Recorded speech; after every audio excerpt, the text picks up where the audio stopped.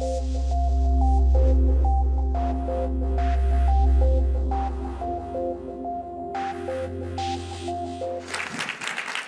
like to start by asking you a simple question, and if you could raise your hand.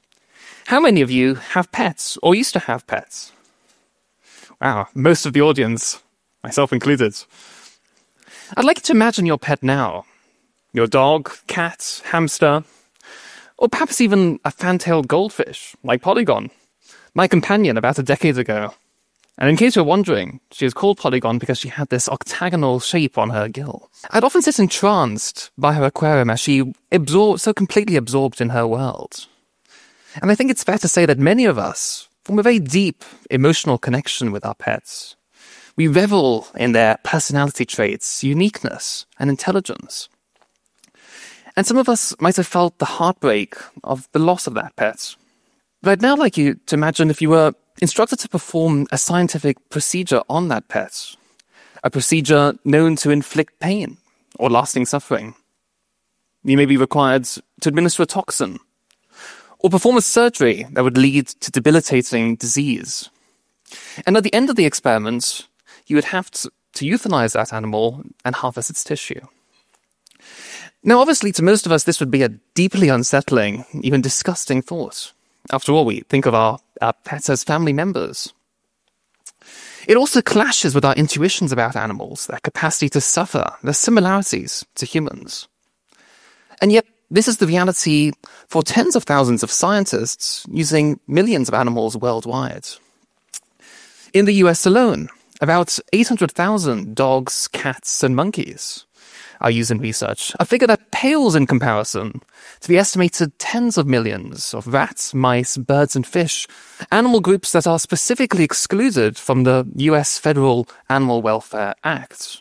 And when you think about it, how we relate to other animals is full of contradictions. We cherish some as pets, but relish others for their meat, and extinguish more as pests. The intelligence of a pig might rival that of a three year old child, and yet, by rationalizing its role as food, we may place their sentience below that of the dogs and cats we have as pets. So it's perhaps hardly surprising then that some of these dissonances also extend into our culture of animal testing. Animal testing is deeply embedded in our scientific traditions, going back at least to the second century AD, with Galen's vivisections on pigs and a variety of other animals. It's the method we've relied on, refined, and taught to generations of philosophers and scientists across the centuries. And yet, animal testing is an interesting topic. It's a highly contentious, both within and outside the scientific communities. What's striking is the divide between public opinion and views that are held within the community, though. In 2015, a Pew Center research study poll found that while 87% of scientists affiliated with the American Association for the Advancement of Science supported animal testing, that figure was only 47% of US adults.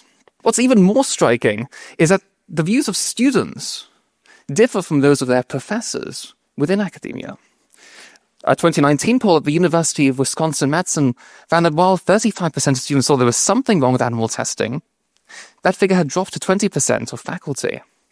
A figure even lower in biology faculty compared to those in the humanities. So, what is it?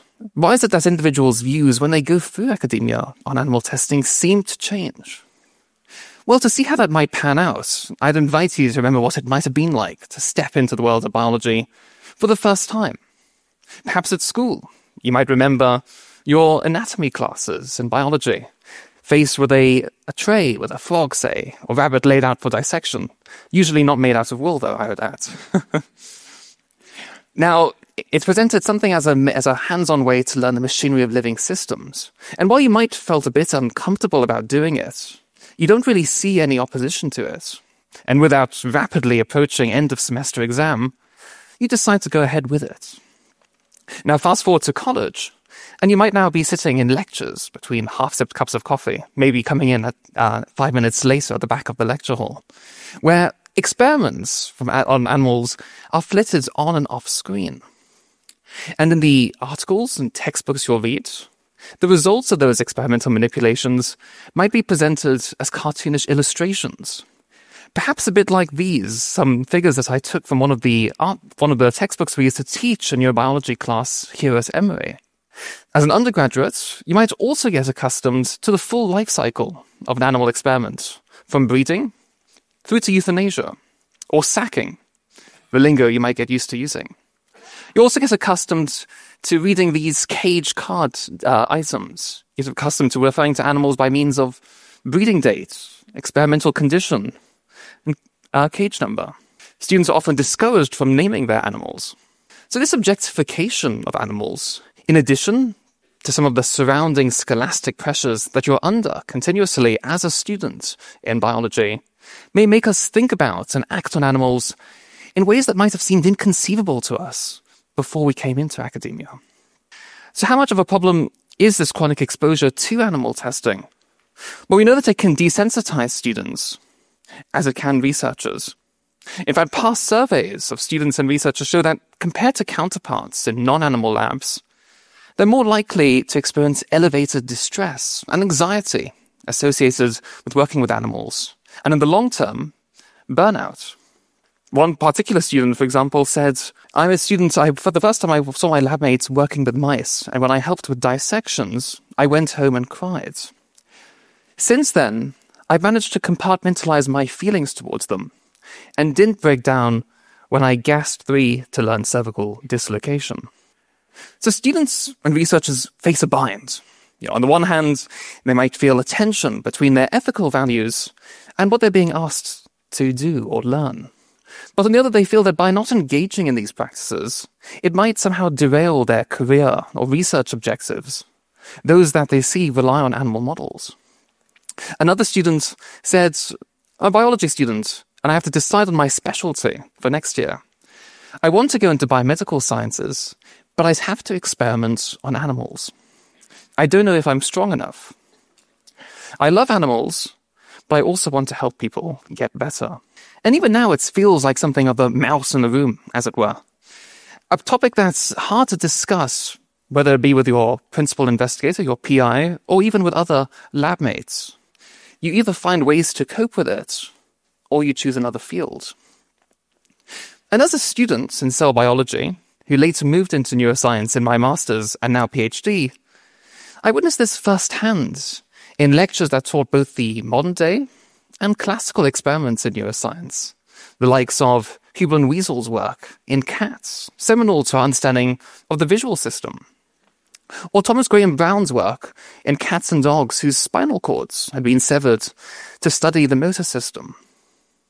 And while powerful experiments, there's rarely, it was rarely accompanied by an ethical discussion about, firstly, the animal morbidity the experiments involved, or if we were to design the experiments afresh, how we might have done so in a way that avoided it.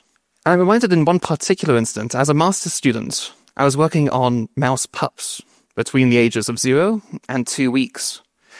And during that time, I struggled with a paradox.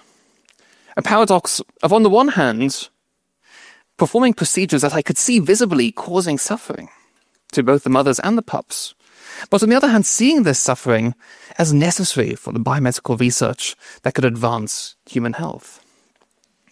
And I'm reminded of one instance in particular during that time when going over to one of the lab fridges to collect a sample. Sort of confronted with this mass of whole vial brain, whole uh, vials filled with mouse brains, seemingly flow out of the fridge and roll across the floor. It was a sobering reminder of the costs of scientific progress, to say the least. But it was also a moment that I realized that I had a choice. That I could go down that path, force myself to normalize this level of, of periodic use of animals and eventually killing those animals, or I could find an alternative, an alternative that didn't involve animals. And it was a path that led me from working on young mice, as you see here, to working with young humans at the Marcus Autism Center, where I'm now doing my PhD. But how do we resolve this paradox? Are we forever doomed to trade animal suffering for human well being?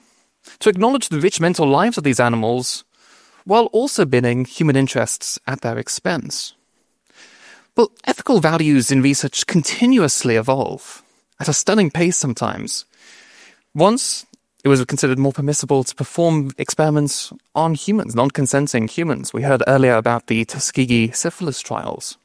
But as a result of ethical and legal reform, we no longer perform those experiments. And some would argue that a similar ethical turning point should happen when it applies to other animals too. But the debate is complicated, and it's complicated by the fact that animals have been, have been seminal in several of our scientific discoveries throughout the past and current century the developments of the polio vaccine, or the SARS-CoV-2 vaccine, to name a few. But for every success with animal models, there have also been the many unstated failures and defeats.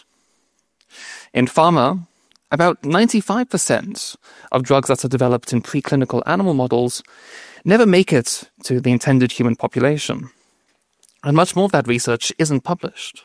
So we, it raises an important question, which is how much of the animal research that we do is important for human health, and how much of it persists due to historical precedent.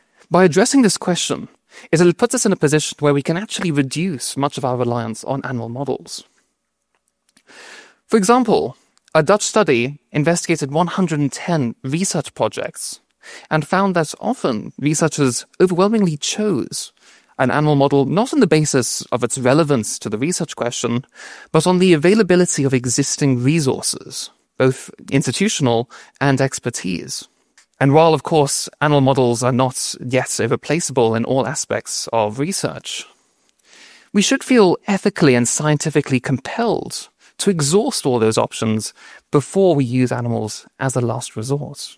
And fortunately, this paradox that we've been facing is not a fixed reality. It's one that's continuously redefined by emergent technologies.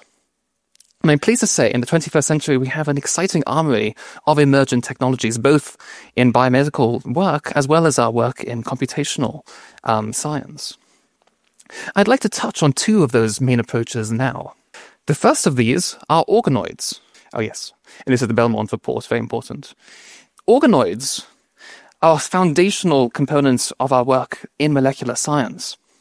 They allow researchers to capture complex cellular interactions in a 3D environment.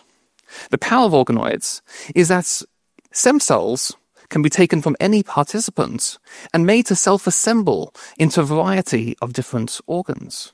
And so far, we've been able to create brain organoids, lung organoids, skin organoids. The beauty with these mini organs is that they are actually quite representative of the organs that they try to capture, all within human models. They've already been applied, for example, to study Alzheimer's disease or Zika virus infection that you see on the right here. But beyond brain organoids, we've also been able to use organoids to replace our reliance on models that have used rabbits in the past. For example, in testing cosmetics by means of skin grafts uh, created via technologies that can take cell, uh, stem cells from humans to derive these models. And I'm proud to say that here at Emory University, we even have an organoid hub, a central resource for scientists to be able to study the nervous system in both disease and in health. The second of these approaches, related, are organs on a chip. Like the first, they use cell culture but combine it with fabricated materials in order to capture a complex set of interactions between different tissue types. In fact, you can even string together different organ types, including lung, heart, bone, skin, combine it into a type of vascular apparatus and even airflow, allowing you to capture complex organ interactions on a dish. The power of this technology is that it is also cheaper than animal regulatory testing, and allows you much faster throughput of, for example, testing drug body interactions. For example, a team at Columbia University was able to use this multi-organ on a chip to test a variety of drugs, of liver drugs, including doxorubicin, finding rates exper- of experimental clearance that were comparable to when they were tested in human pub- uh, subjects. Another team at the Wyss Institute, a forerunner in developing lung on a chip models, used such a model like this in order to develop and screen for treatments during the course of the pandemic, allowing for a much faster throughput of treatments against the fight of COVID 19. And I'm excited to say that many areas that historically relied on animal testing, especially in cosmetics and environmental toxicology, have now shifted to these of these emergent technologies. For example, Canada recently became the 44th country to ban cosmetics testing. In the US, eight states so far no longer use cosmetics in animals. They've also updated their environmental protection laws to screen out animal testing when it comes to the environment. And across the world, a number of centers have been founded in order to evaluate alternatives to animals. In the States, for example, we have the Alternative Fund for Animal Research. So where do we go from here? Well, animal testing is a debate that remains prevalent both societally and scientifically, but one that you all have a say in. By looking at polls collected from the public, a series of emergent trends come about. The first of these is that animal testing is usually acceptable only when it's done for medical purposes, when it can only be done in non human animals, translates well to human health, and minimizes the amount of animal suffering involved.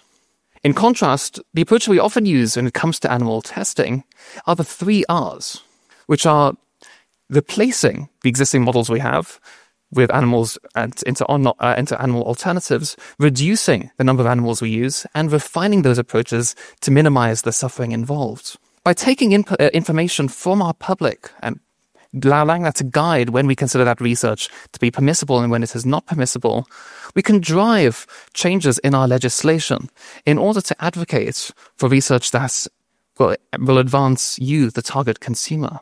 For example, some scientists have even advocated for a fourth R, responsibility, ensuring that the work that we do has a clear link to the broader societal impact. Of course, core to this model is also individual action, and perhaps the lowest hanging fruit comes in cosmetics. By looking out for these labels, you can ensure that your choice of branding doesn't involve uh, uh, products that were tested on animals. But I'd like to end by asserting the importance of students in this discussion. By proportion, undergraduates and graduate students make up the bulk of work that's done in science in the lab.